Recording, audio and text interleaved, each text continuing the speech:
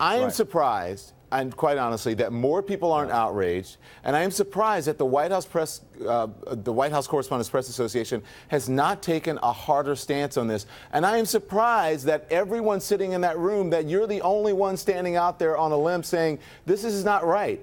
If- Well, my if- friend April Ryan did chime in today Uh, and say that was a April- legitimate April's gonna question. come in, and I'm, uh, I'm going to bring her in. But, But, let I- me say this, Don, Jim. I think it's a great this. question. Here's Yeah, what I, I- want to yeah. say. If I'm if I'm a member of the White House press corps, and Fox News asks a question and Sean Spicer doesn't answer, then I'm going to ask the same question.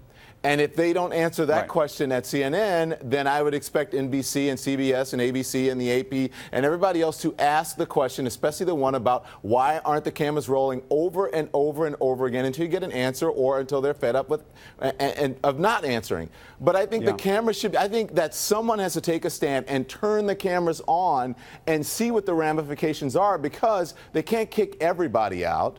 And it is the American people's cameras and not the White House cameras. I'm sorry to cut you Yeah, off, but I- I, am no, I outraged I- by this. I can't believe that people aren't standing up for, uh, for I, this. I agree with you wholeheartedly, and, and let me ask it this way. Let's put it another way. Let's say during the Obama administration, during the height of the Obamacare debate, the Obama White House said, "We're turning the cameras off in the briefing room."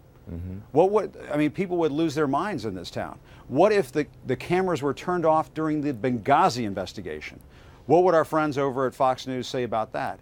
And so, I, you know, this is not a partisan issue. It's this is about access. And when you turn the cameras off, you are taking away a layer of accountability. It's as simple as that. I, I don't know why this is being caught up in some sort of partisan debate Mm-hmm. uh, and why we're, we're being cast in a certain way by raising this issue. This is just about openness and transparency in government. What are the politicians hiding? Why would anybody be afraid to, to try to get to the bottom of that?